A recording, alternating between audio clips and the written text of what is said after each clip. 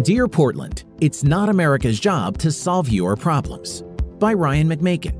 An audio Mises Wire narrated by Millian Quinteros. In response to my article last week opposing the use of federal soldiers and federal agents on the streets of American cities, my inbox and the article's comments section filled up with readers claiming that it most certainly is the job of the U.S. federal government to step in and take control of U.S. cities against the will of the state and local governments. These interventionists have lots of reasons for their federalization of local law enforcement. The author is not realizing the seriousness of the communist insurgency underway. Federal intervention is unjustified, except in cases where the local elected officials refuse to do what they had taken an oath to do. The people are under the protection of the Constitution. Thus, during insurrections, the president has the duty to mobilize to restore order. Oregon State and Portland City governments, either or both, can't or don't want to stop violent protests, with destruction of public and private properties. Therefore, federal government needs to intervene to restore the order, normal functioning of city businesses and government offices. Many of these readers attempt to make claims about constitutional authority, such as the meaningless claim that the people are under the protection of the Constitution, whatever that means and that therefore the feds can do whatever they want to restore order.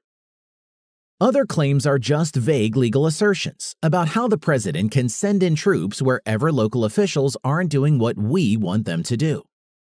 To this, I would only restate that the entire historical and legal context of the Declaration of Independence, the Constitution, and the American Revolution is one of preventing distant national powers from sending in their agents, bureaucrats, and troops to carry out federal prerogatives. But even if the current U.S. Constitution did authorize federal takeovers of local police, which it doesn't, then the Constitution ought to be ignored, because constitutional authority is inferior to the larger moral principle of subsidiarity, self-determination, and local control. As with all things, the Constitution is only useful and worthy of being quoted when it limits federal power. When it doesn't do so, it should be ignored. The Constitution is not some holy writ. It's useful when it attempts to limit federal power and worthless when it doesn't. In this case, the Constitution is on the right side. It limits federal intervention in these cases. But if it weren't on our side, then it would be wrong. Stated simply, here is the basic principle at hand. As an American taxpayer who lives many hundreds of miles from Portland, it's not my job to solve Portland's problems. To business owners and others who live in Oregon and Portland and who are being negatively affected by the riots there, I'm sorry you continue to choose to live in a poorly run state, where the political leaders are craven socialists who kowtow to the mob. I highly recommend you consider moving away or expending your own time and energy to do something about it. I'm sorry you didn't see the writing on the wall years ago as voters put into power, again and again, left-wing demagogues. You decided to stick around. But it's not now the job of Americans in other places to bail you out. I fully encourage you to organize a local militia, a local political movement, recall effort, or some other strategy to deal with it. But Americans have plenty of their own problems in their own cities. We have our own crime problems and our own problems with corrupt politicians to deal with it. I'm sorry that residents of Portland and Oregon appear to be especially inept in this regard.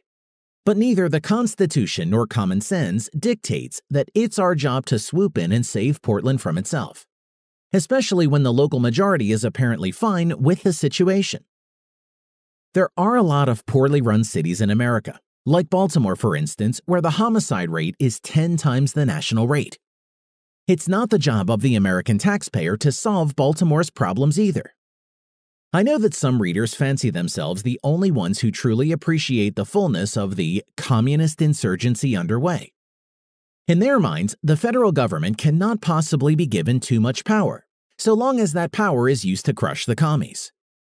Anyone who insists on limiting federal power is thus naive Yet, it is these non-naive people who want to grant even greater power to a federal establishment that clearly views the American people as the enemy. These federal agencies are the ones who have relentlessly conspired to remove the current democratically elected president because he was not to their liking.